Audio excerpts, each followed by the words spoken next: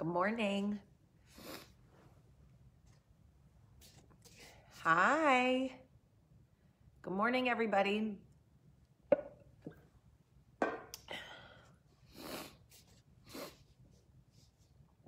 Good morning. Good morning from Birmingham. It is freezing outside. Um, and forgive the fact that I look a mess, but I have been going since 6:30 this morning and um, this is some hairdo I have here. This is what I look like when I first wake up in the morning. You're welcome okay? I'm quite sure you've never seen anything so beautiful. Maybe she's born with it. Maybe it's fucking Maybelline. Um, anyway, um, Max is finally coming out of upstairs quarantine this morning, so he's very excited. Um, and um, the girls are off at school. Max is upstairs on his Zoom for school, and I'm going to work from the house today. Look at this hair. Uh, what's up, Patriots Nation? And by the way, this is Freehold Township Patriots. This is not the New England Patriots. Um, but I wanted to talk to you guys about timing. Um, for those of you who know me, you know that I truly believe God's time is the right time all the time. That's my faith. That's not everybody's faith, but that is truly what I believe. And when I lose something, miss out on something, drag my feet on something, I tend to uh, convince myself that, um, or fall back on is a better thing than convince myself. I tend to fall back on the fact that, um, you know, if God really wanted me there or in that spot or, or at that event or in that movie or whatever it is, that he would have put me there, that it would have worked out. Um, uh, so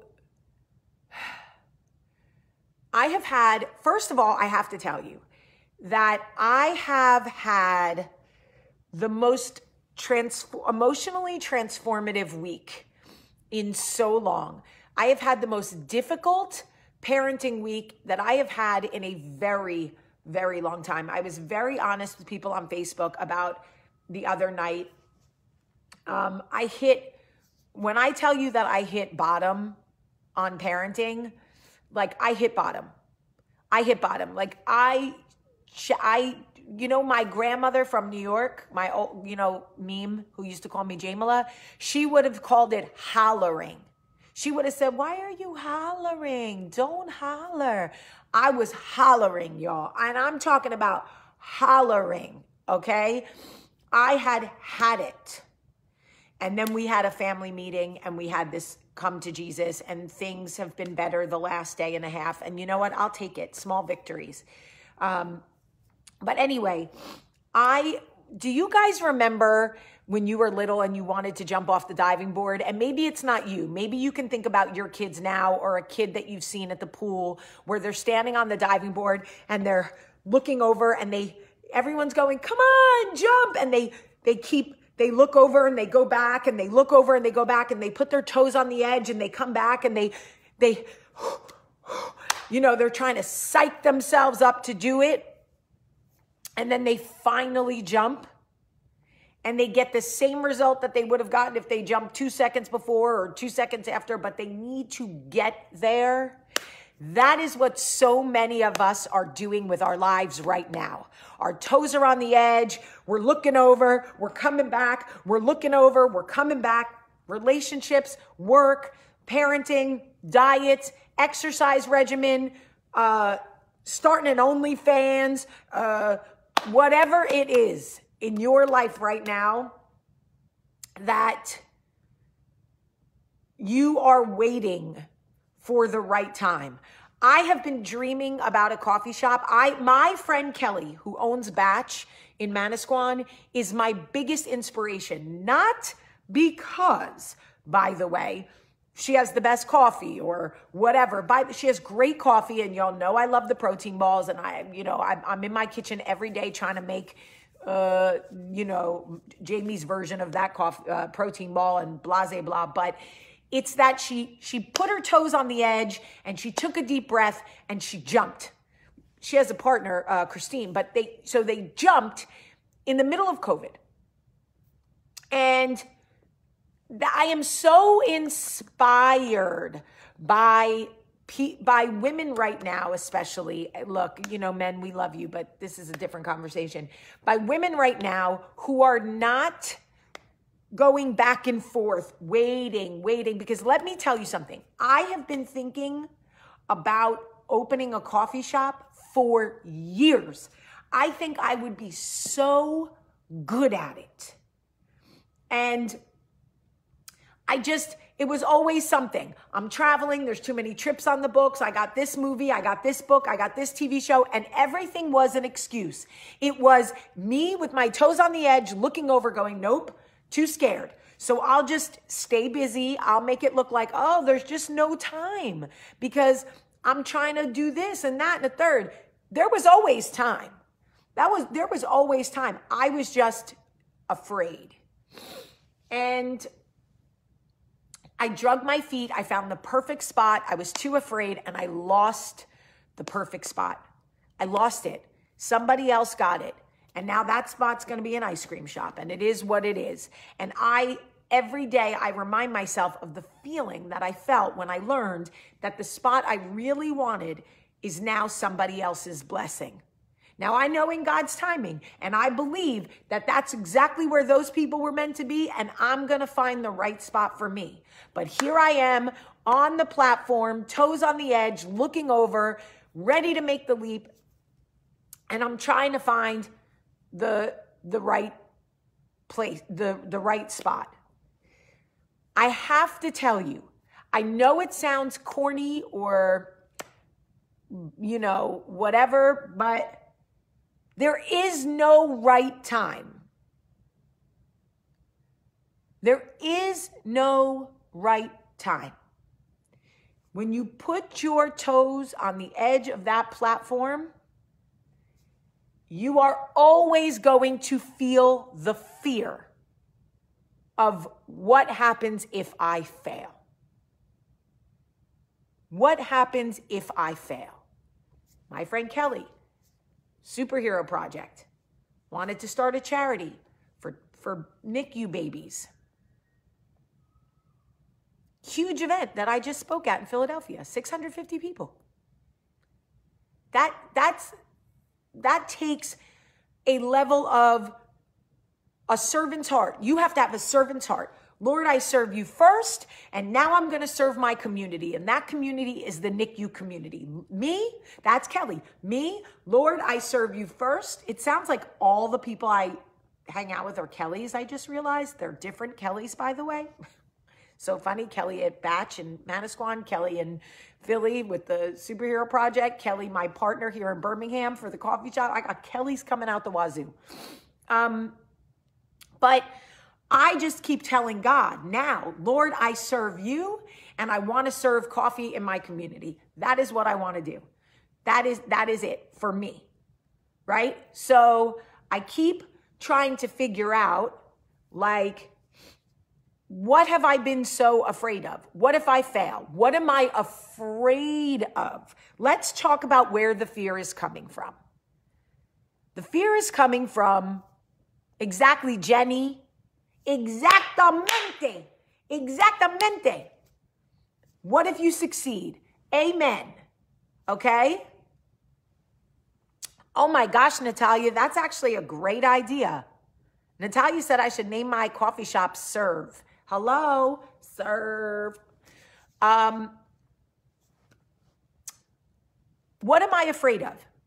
Let's get down to where the fear really comes from. What if I take a chance publicly and it doesn't work? Then everybody will determine, decipher, whatever, that I am a failure. Am I a failure in life or would I be a failure in one journey, in one road. How many times have you gone down a road and been like, this is not the place I'm supposed to go? And you pull into a driveway and you turn around. Could you imagine if you pulled over on that road and was like, well, I guess I'm going to die in this car now because I can't keep going? I went down the wrong road. So now I'm just going to pull the car over and die right here on wrong road 57. No, you get in the driveway, you turn around, and you go down the other road and you put your damn Waze on and you figure that shit out. So if I open a coffee shop and it doesn't work, I just got to get in somebody's driveway, turn around, and go down a different road. Right? That's it. Exactly, Bethany. If you if I fail, then I fail. Doesn't mean I never try again. It just means my first approach didn't work. But by the way, if you look at babies trying to walk, how many times do babies get up and try to walk and fall? And, and we say, come on, you can do it. Get up. When did we stop doing that baby voice to ourselves? When do we stop doing that amazing baby voice reminding us to get up. Come on, you can do it. Come on, walk to mommy. Okay, they fall, they get back up. Could you imagine if the first time a baby fell, he was like, fuck walking. I'm never walking again. This doesn't work for me. I'm not a walker, I'm a crawler. I'm gonna crawl for the rest of my life. No.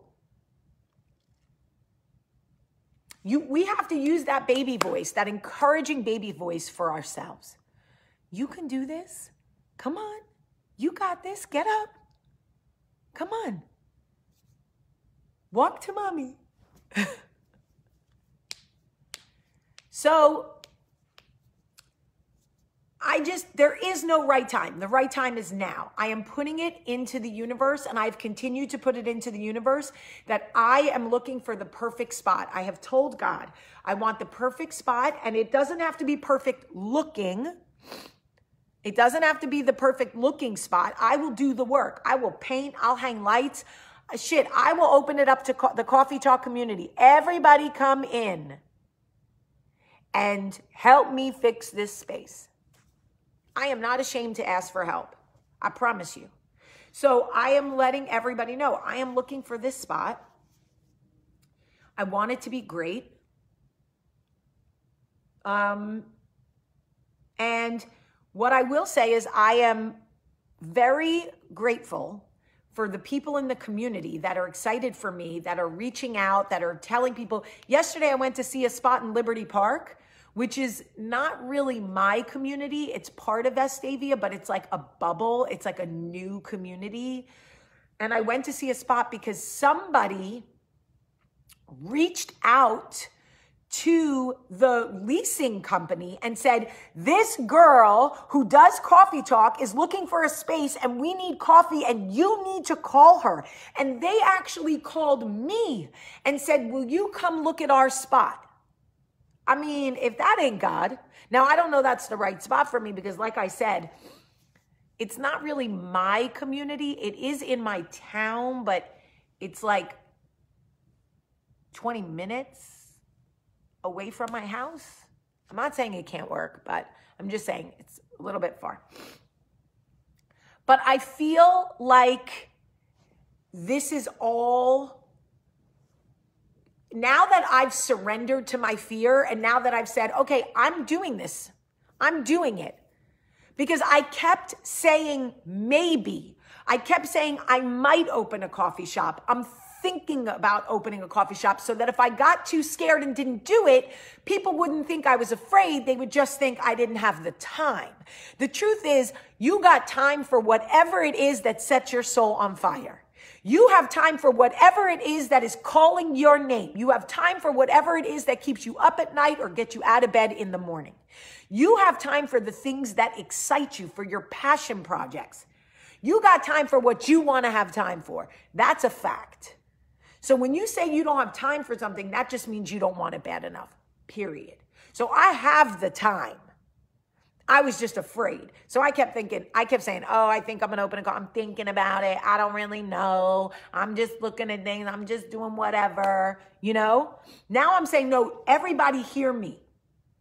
I am building State of Style out and it is going to be huge and it's going to have all my favorite products and Mary is going to run it for me and we are going to lift Mary up and we are going to move her forward to the next phase of her life and I am going to open a coffee shop and I am going to serve my God and I'm going to serve my community because that is what I want to do. Period. It doesn't have to be what other people want to do. It nobody has to understand it. Jaime, why would you give up making movies in Hollywood to open a coffee shop? Why would you give up having sex with whoever you want to have sex with to get married? I don't know, Fran, because that's what I want to do. You know what I'm saying? We give up a lot of shit. We give up a lot of shit to have the next thing, to have what we want, to have security, to have joy, to have love. Everything is a sacrifice. Do you know that I pee in my pants because I had children? I can't laugh or jump or cough or sneeze or run without peeing in my pants. If that ain't a sacrifice, I don't know what is. I actually sacrificed my bladder to bring people into this world. So don't talk to me about sacrifice. Okay, I see so many women that I want to make out with, a lot a lot of women that I want to make out with, but I don't and I can't because I sacrificed. Okay? I sacrificed. So, you're already doing it. You're already making huge, brave steps in your life. So, what are you afraid of? You know? Oh, Danielle, thank you. Danielle said she would make out with me. And you know what, Danielle? I'm going to take that and put it in my pocket. I am. I think you'd be very happy. I think I'm a good kisser. But I can't kiss you right now because I made a sacrifice. It's called marriage. Anyway, there is no right time. And I am going to sell Oh, Shiraz, you are seen. I am going to sell so many great things in my coffee shop. You guys are going to love it. You're going to come in and be like, I got thank you cards. I got this. I got coffee. I got pow- like smoothies. I got a power balls or whatever we want to call them. Because you know you want balls in your mouth, ladies. Don't lie. So I'm just saying, whatever it is that you are afraid of, uh, me too. Me too. I'm terrified, but I'm doing it. I'm doing it. And, you know, my biggest thing was what if I say that I'm going to scale back on Hollywood? People will think I failed. So what? So what if everybody thinks I couldn't hack it in Hollywood? I know that's not true. I've made four studio films. Do you know how many people work in Hollywood and never make one studio film? I made four. I wrote a book. It's got five stars on Amazon. Five stars. What am I? What, I had my own TV show. Who cares that it only went one season? How many people never had one season of their own TV show? 99.999% of the population. What the fuck am I need to be afraid of? So this August, August 19, 2022, my next studio film comes out. It's called Beast. It stars Idris Elba. And you guys are going to love it. I'm writing another book. How do you like them apples? But it's fiction and it's erotic thriller and it's going to have mystery and thriller and sex I have my own podcast, Tell Me What to Do. I was terrified. Who the hell wants to listen to me? Turns out a lot of people. So I'm I'm scared all the time. I'm afraid all the time.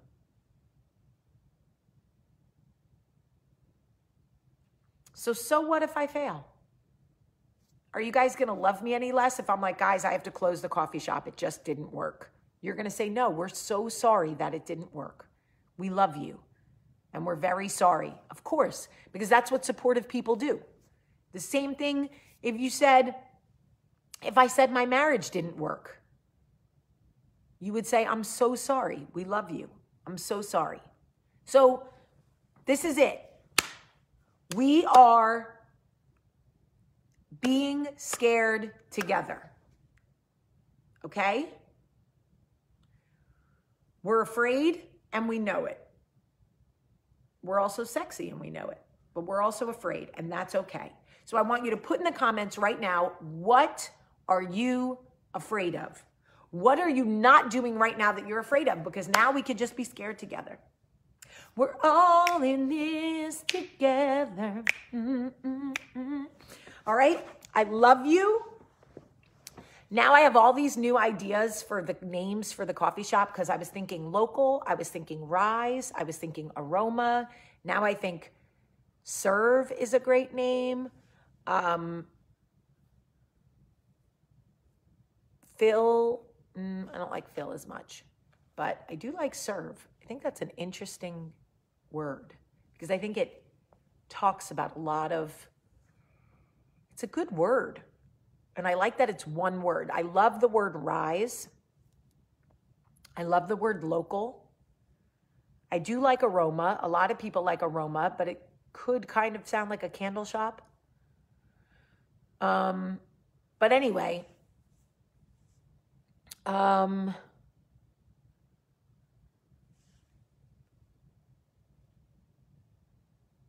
um, Eric, I have to block you, buddy. Sorry. Um, rise and serve. Well, I don't want to do um, more than one word. I just want one word. So it's either local, because then you could say like drink local, eat local. I love that. Serve is a great word. And I love rise. I think rise is a very empowering word. Rise to the occasion, rise in the morning. Um, and I, I, uh, a lot of people love Rise. It's in the lead, by the way. It's in the lead. Um, I don't want to name it Coffee Talk because I don't know why. I just don't. I want one word. I'm sweating, y'all. I took you to church.